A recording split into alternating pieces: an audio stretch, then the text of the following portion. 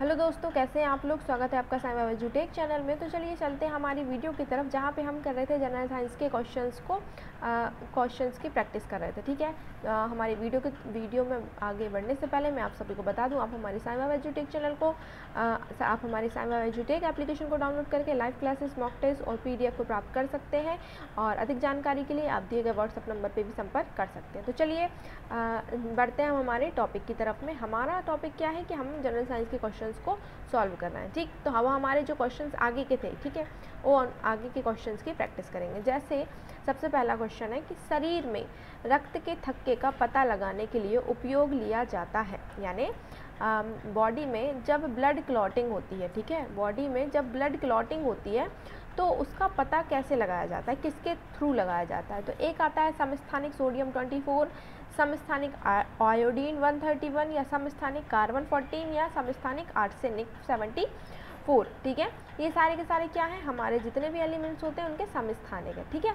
अब समस्थानिक में सबसे पहले अगर हम सोडियम की मान लीजिए आयोडीन की बात करें तो आयोडीन 131 जो है, ये घेंगा रोग घेंगा रोग जो होता है, उसके उपचार के काम में आता है, ठीक है? ये घेंगा रोग के उपचार में काम में आता है। समस्थानिक कार्बन 14 की अगर हम बात करें तो ये जो होता है, ये कार्बनिक पदार्थों की आयु के बारे में बताता है, ठीक है? कार्बनिक पदार्थों की आयु के बारे में बताता है। सेम आते हैं समस्थानिक आर्सेनिक 74 तो ये हमारे आ, क्या बताता है? ये तो कार्बनिक पदार्थों की आयु के बारे में बताता है। समस्थानिक आर्सेनिक 74 जो होता है ये ट्यूमर का पता लगाता है ठीक है? जैसे कि बॉडी में जहाँ पर भी ट्यूमर होता है वहाँ पर हम समस्थानिक आर्सेनिक 74 का उपयोग करके ट्यूमर का पता लगा सकते हैं। बचा अब हमारा क्या समस्थानिक सोडियम 24 जो होता है हमारा ब्लड क्लॉटिंग के बारे में पता लगाता है ठीक?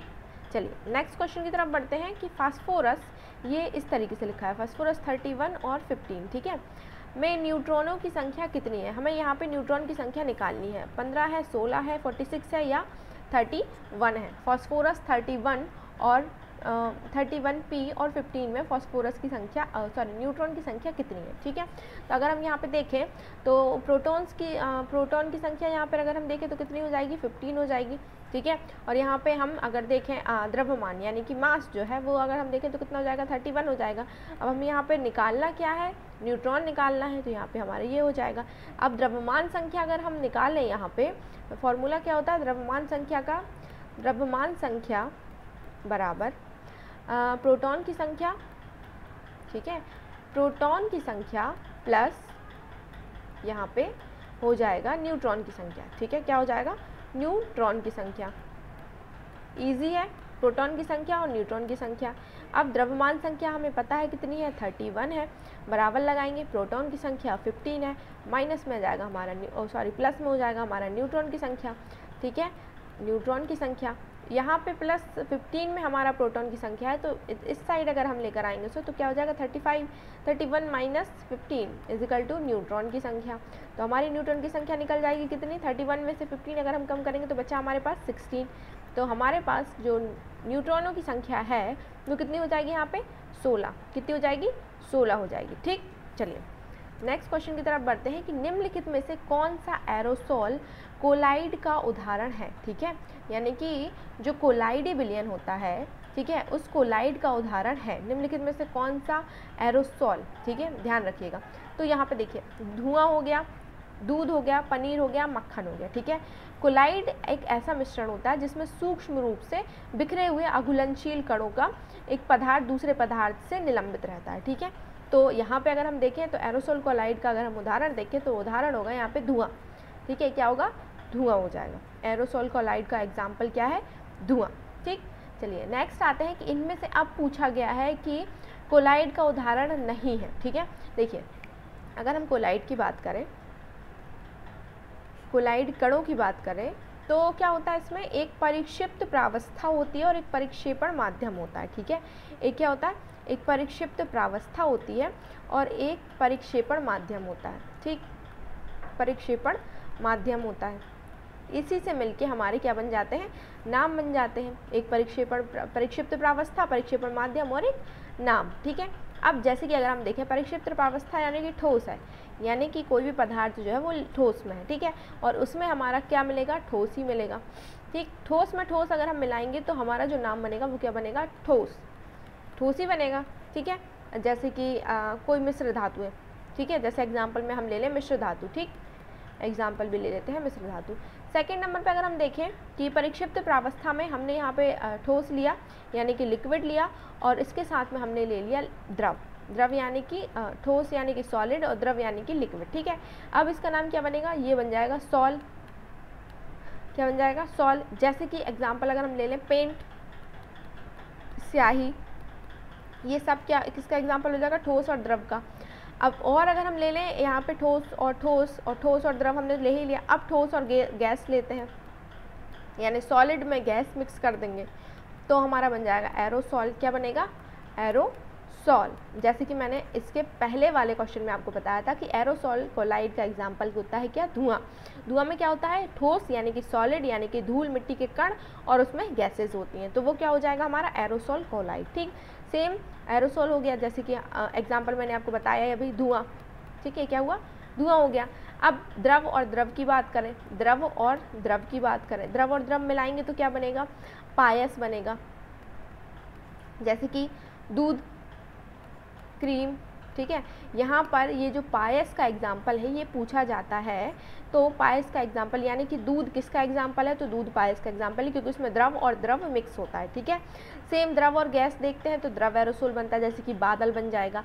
द्रव में अगर हम आ, क्या मिला देंगे?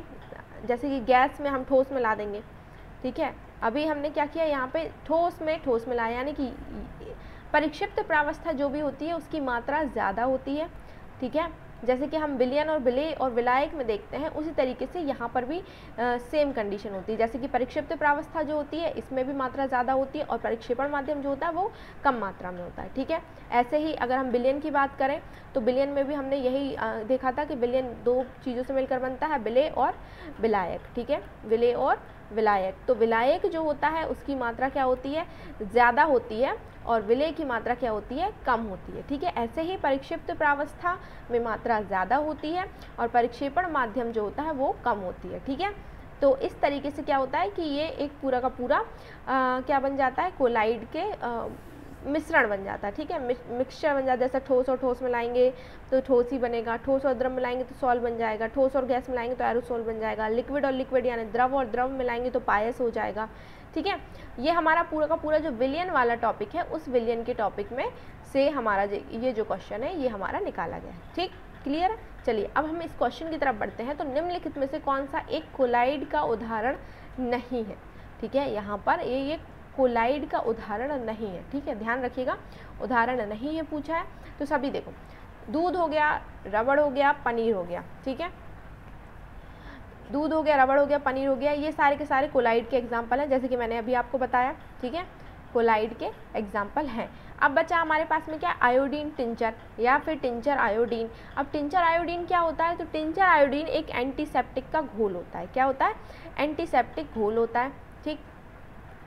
एंटीसेप्टिक का सोल्यूशन होता है, ठीक है? जैसे आप लोगों ने देखा होगा, ये एथेनॉल और पानी के मिश्रण से बना हुआ होता है और आयोडीन को मिलाकर तैयार करते हैं। इसमें एथेनॉल होता है, ठीक है? Ethanol plus water plus iodine ठीक है? का मिला हुआ एक मिक्सचर होता है इसको क्या करते हैं जब शरीर में कहीं पर भी घाव लग जाते हैं या कट लग जाता है तो इसको क्या करते हैं इस तर, उस जगह को कीटाणु रहित करने के लिए या कीटाणु रहित बनाने के लिए इसका उपयोग किया जाता है। ठीक है? आप लोगों ने देखा होगा कि जब चोट वोट लग जाती है तो पहले एक लिक्विड रहता है, जिसको बोलते हैं आयोडीन का घोल जो रहता है, उस डिटॉल बोलते हैं जिसको डिटॉल टाइप में रहता है, उसको रुई में लेकर पहले उस घाव को साफ़ करते हैं ताकि वहाँ पर कोई कीटाणु या बैक्टीरिया ना रहे, उसके बाद उसका इलाज किया जाता है, ठीक है? तो आयोडीन टिंचर का उपयोग वहाँ पर किया जाता है और ये एक कोलाइड का उदाहरण नहीं होता, ठीक है? चलिए। नेक्स्ट क्वेश्चन की तरफ़ आते हैं कि किस विधि द्वारा बालू से लोहे की पिनों को पृथक किया जा सकता है? ठीक है? यानी कि बालू पत्थर है उसमें से हम लोहे की विधि को पृथक करेंगे। छानन विधि के द्वारा चुंबकीय पृथककरण विधि द्वारा हाथ से चुनकर या बाष्पीकरण? देखिए नॉर्मल है बहुत अच्छा सा क्वेश्चन है। और क्योंकि देखिए लोहे की पिन है तो लोहे की पिनों को चुंबक अपने तरफ़ खींचेगी। ठीक है? क्या करेगी? चुंबक क्या करेगी? अपनी तरफ़ खींचेगी। तो यहाँ पर जो आ, किस विधि, यानी कि अगर हम विधि की बात करें तो चुंबकीय पृथक्करण विधि के द्वारा हम लोहे की पिनों को बालू से अलग कर सकते हैं, ठीक है? इसमें क्या करेंगे? इस विधि में दो रोलर होते हैं, ऊपर से नीचे एक रबड़ की बेल्ट में घूमते रहते हैं, ठीक है? इस तरीके से आप लोगों ने देखा होगा। ये एक बेल्ट में घूमते रहते हैं और यहाँ पे बालू डालते जाते हैं तो बालू डलती जाती है और चुंबक खींचते, चुंबक लोहे की पिनों को खींचती जाती है, बाकी बालू को नीचे गिराती जाती है। ठीक है? आ, बस हो गया। रोलर जो होते हैं चुंबकीय प्रकृति के होते हैं तो ये बचे रहते हैं और बाकी बालू जो होती है वो नीचे गिरते जाती है। ठीक तो ये क्या हुआ? चुंबकीय पृथककरण विधि के द्वारा लोहे की पिनों को पृथक कर सकते हैं। ठीक है? निम्नलिखित में से कौन सा तत्व जो है वो एक उपधातु है ठीक है? उपधातु की बात कर रहे हैं यानी कि धातु भी और जिसमें धातु और अधातु दोनों के गुण होते हैं वो उपधातु कहलाती है ठीक है? अगर हम देखें आ, कि उपधातुएँ कौन कौन सी होती हैं तो जैसे नाइट्रोज उपधातु ऐसे तत्व होती हैं, यानी उपधातु ऐसे एलिमेंट होते हैं जिनमें धातु और गैर धातु दोनों के समान गुण होते हैं। जैसे कि मैंने बताया, धातु और धातु दोनों के गुण होते हैं। कुछ गुणों में धातुओं के साथ और कुछ गुणों में अधातुओं के साथ समानताओं में दिखाई देते हैं, ठीक है?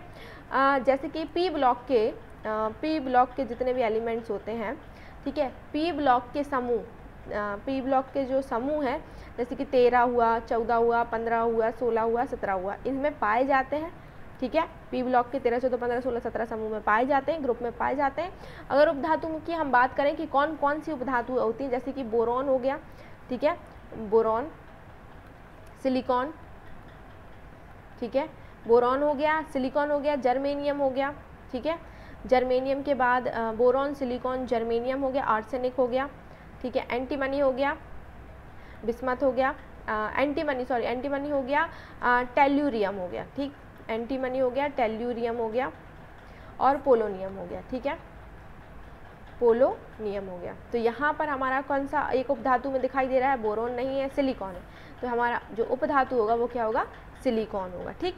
चलिए, क्षारीय धातुओं का गुण क्या है? ठीक है? यानी कि क्षारीय धातुओं के जो कैरेक्टर होते हैं, वो कैसे होते हैं?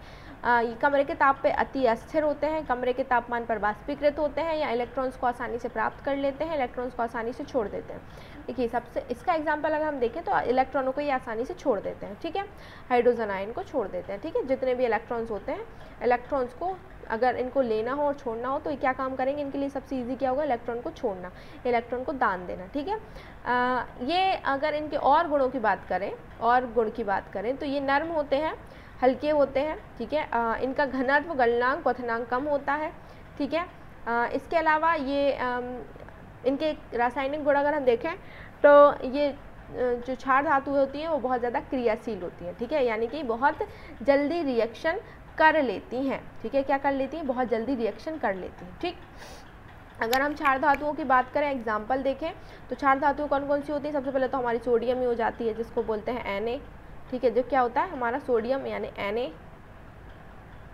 सोडियम हो गया, पोटेशियम हो गया, रुबीडियम हो गया, ठीक सोडियम हो गया, पोटेशियम हो गया, रुबीडियम हो गया, सीजियम हो गया लिथियम हो गया, ये सारी की सारी हमारी क्या है, क्षार धातुएँ होती हैं, ठीक, चलिए, धातुएँ विद्युत का वहन क्यों करती हैं?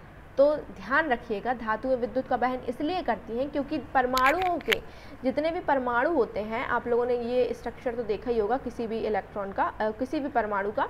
तो बा इन कक्षकों में क्या होते हैं? इलेक्ट्रॉन होते हैं इलेक्ट्रॉन स्थापित होते हैं ठीक है? तो जो इलेक्ट्रॉन होते हैं वो किसी परमाणु से बंधे नहीं हुए थे ठीक है? यानी कि ये स्वतंत्र अवस्था में होते हैं। जब स्वतंत्र अवस्था में होते हैं तो यहाँ पर अगर हम विद्युत प्रवाह करेंगे तो ये इलेक्ट्रॉन क्या करेंगे? एक धातु के धातु की संरचना के भीतर आसानी से स्थानांतरित हो जाएँगे यानी कि आसानी से ट्रांस ट्रांसफ़र हो जाएँगे। और जैसे ही ट्रांसफ़र हो जाएँगे तो आयनिक ठोस पदार्थ में ऐसे कोई स्वतंत्र इलेक्ट्रॉन नहीं होते हैं, इसलिए उनके माध्यम से इलेक्ट्रॉन क्या हो जाती है? प्रवाहित नहीं हो सकती। है इसलिए, देखो, सहसंयोजक या आयन, ये ठोस आयन होते हैं, उनमें क्या होता है कि कोई भी स्वतंत्र इलेक्ट्रॉन नहीं होते हैं। जिसकी वजह से वहाँ पर जो विद्युत होती है वो प्रवाहित नहीं हो पाती। लेकिन यहाँ पे क्या है कि धातुएँ जो होती हैं, उनमें विद्युत बाहर के जो कक्षक होते हैं, इनमें स्वतंत्र इलेक्ट्रॉन होते हैं। मुक्त इलेक्ट्रॉन होने के कारण ये विद्युत को क्या कर लेते हैं? विद्युत को स्थानांतरित कर देते हैं एक जगह से दूसरी जगह पे, ठीक है? इस वजह से ये विद्युत का वहन करते हैं। तो अगर हम यहाँ पे देखें, इसका गलनांक कम होता है, तनन समर्थ होता है, या मुक्त इलेक्ट्रॉन के कारण होता है, या उच्च परमाणु घनत्व के कारण होता है। तो यहाँ पर अगर हमें आंसर देखें तो ये होगा मुक्त इलेक्ट्रॉन के कारण। ठीक? अगर हम पीरियडिक टेबल में बाएँ से दाएँ की तरफ़ चलते हैं तो इलेक्ट्रॉन बंदिता क्या होगी? कम हो जाती है, बढ़ जाती है, समान रहती है या शून्य हो जाती है। देखिए बाएँ से दाएँ की तरफ़ अगर हम चलेंगे तो इलेक्ट्रॉन बंधुता बढ़ जाएगी और सबसे ज़्यादा इलेक्ट्रॉन बंधुता किसकी होती है? फ्लोरिन फ्लोरिन की, ठीक है? फ्लोराइन कहते हैं या फ्लोरिन कहते हैं, ठीक? ध्यान रखिएगा। अब अगर हम बात करें नेक्स्ट की कि निम्नलिखित में से कौन सा तत्व लेंथेनाइट है ठीक है, क्या? लेंथेनाइट तो सबसे पहले लेंथेनाइट या लेंथेनॉइड जो होते हैं। अगर हम एक पीरियोडिक टेबल या आवर्त सारणी की बात करें तो यहाँ पे 57 से सेवेंटी वन परमाणु क्रमांक, परमाणु संख्या तक के जितने भी एलिमेंट्स होते हैं, वो लेंथेनम की लेंथेनम की श्रेणी में आते हैं। ठीक है? तो लेंथेनाइट तत्वों में समान रासायनिक गुण होते हैं। ठीक है? लेंथेनाइट के जितने भी तत्व उनमें सामान्य रासायनिक गुण होते हैं और सामूहिक रूप से उन्हें दुर्लभ मृदा तत्व भी कहते हैं। क्या कहते हैं? दुर्लभ मृदा तत्व भी कहते हैं। ठीक?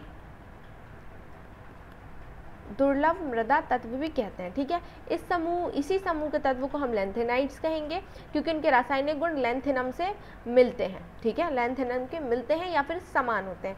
और यहाँ पर अगर हम देखें लेंथेनाइट एक्टियम है फ्रेंसियम है पोलोनियम है या सीरियम है तो इसका आंसर होगा सीरियम सीरियम का परमाणु क्रमांक, परमाणु संख्या अगर हम देखें तो फिफ्टी होती है, ठीक है? जैसे कि मैंने आपको बताया 57 से 71 तक के जो होते हैं, वो लेंथेनम की श्रेणी में आते हैं, जिसमें से सीरियम जो है, वो 58 नंबर का की परमाणु संख्या होती है जो लेंथेनाइट श्रृंखला के दूसरे स्थान पर होता है, ठीक है? इसका अगर हम द्रव्यमान देखें सीरियम का अगर हम द्रव्यमान की बात करें तो द्रव्यमान होता है 140 यानी 140.12 ठीक है?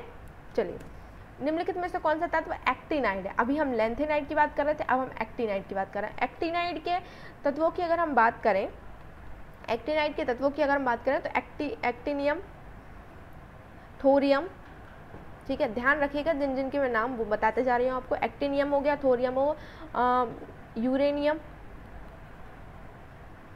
बहुत सारे जैसे क्यूरियम हो गया यूरेनियम हो गया बैकेलियम हो गया कैलिफोरियम हो गया आइंस्टीनियम हो गया फेरियम हो गया मैंडेलियम हो गया नोबेलियन हो गया लॉरेंशियम हो गया ये सारे के सारे क्या है एक्टिनाइट है कौन से तत्व है एक्टिनाइट तत्व अब यहाँ पर अगर हम बात करें कि क्यूरियम होगा ल्यूटिशियम होगा एरबियम होगा या टेरबियम होगा तो यहाँ पर देखिए क्यूरियम ठीक है, क्या होगा? क्यू क्यूरियम जो है, वो क्या होगा? एक्टिनाइट तत्व होगा, ठीक? निम्नलिखित में से कौन सा एक उपधातु है? देखिए, अभी एक उपधातु की बात करी थी हमने, अब दूसरा आ गया तो हम जैसे जैसे कि मैंने आपको बताया था कि इसमें हमारा उपधातु में जर्मेनियम भी था तो इसका आंसर हमारा क्या होगा? जर्मेनियम ठीक है? धोने का सोडा किसका प्रचलित नाम है? धोने का सोडा किसका प्रचलित नाम है? तो सोडियम कार्बोनेट ठीक है? धोने के सोडे को हम क्या कहते हैं? सोडियम कार्बोनेट कहते हैं। सोडियम धातु का संग्रह किसमें किया जाता है? सब आप सभी को पता है कि सोडियम धातु को आ, किसमें डुबा कर रखते हैं? तो कैरोसिन यानी कि मिट्टी के तेल में क्योंकि वो हवा से भी क्या कर लेती है? अति क्रियाशील धातु होती है कि इतनी क्रियाशील होती है कि हवा में जो ऑक्सीजन होती है उससे भी क्रिया करके ब्लास्ट हो सकती है। ठीक? आजकल सड़कों पर रोशनी के लिए प्राय पीले लैंपों का प्रयोग किया जाता है और उन लैंपों में किसका उपयोग किया जाता है? नियोन का। किसका? नियोन गैस का उपयोग किया जाता है। ध्यान रखिएगा। ठीक? निम्नलिखित में से किसी आमतौर पर वाशिंग सोडा के रूप में जाना जाता है। तो वॉशिंग सोडा, वही धोने का सोडा, वही होगा हमारा सोडियम कार्बोनेट। ठीक है, ध्यान रखिएगा। क्वेश्चन घुमा घुमा के पूछा जा सकता है, धोने का सोडा। अब देखिए, सोडियम कार्बोनेट को किस सामान्यतः जाना जाता है? तो सोडा के, धोने का सोडा। ठीक, जैसा भी बताया। तीन क्वेश्चन हमारे सोडियम कार्बोनेट के ऊपर से आ गए हैं। ठीक है? जल की कठोरता दूर करने के लिए आ, किसका उपयोग किया जाता है? तो जल की कठोरता को दूर करने के लिए भी क्या किया जाता है? देखिए। जल की कठोरता को दूर करने के लिए बेकिंग सोडा का उपयोग किया जाता है, चूने का वॉशिंग सोडा का है ब्लीचिंग पाउडर का वॉशिंग सोडा वही धोने का सोडा, ठीक है? धोने का सोडा, जिसको हम सोडियम कार्बोनेट भी कहते हैं इसका क्या होता है? धोने का सोडा जो होता है वो कठोर पानी, यानी कि कठोर पानी की जो कठोरता होती है, यानी कि कैल्शियम और मैग्नीशियम क्लोराइड जो होता है, और उसको सल्फेट के साथ अघुलनशील कार्बोनेट बना देता है, और बनाने के लिए ये क्या करता है? प्रतिक्रिया करता है, यानी कि रिएक्ट करता है, ठीक? जल की स्थायी कठोरता के लिए ये रिएक्ट करता है किस किस के साथ में? कैल्शियम के साथ, मैग्नीशियम के साथ, मैग्नीशियम क्लोराइड और सल्फेट के साथ में, ठीक? तो ये क्या कर देता है? जल की स्थायी कठोरता दूर करने के लिए वॉशिंग सोडा का उपयोग किया जाता है, यानी कि धोने का सोडा ठीक है? ध्यान रखिएगा, धोने का सोडा यहाँ पर तीन नाम आ सकते हैं वॉशिंग सोडा धोने का सोडा या फिर सोडियम कार्बोनेट ठीक है? सोडियम कार्बोनेट क्लियर धोने का सोडा का रासायनिक सूत्र क्या है?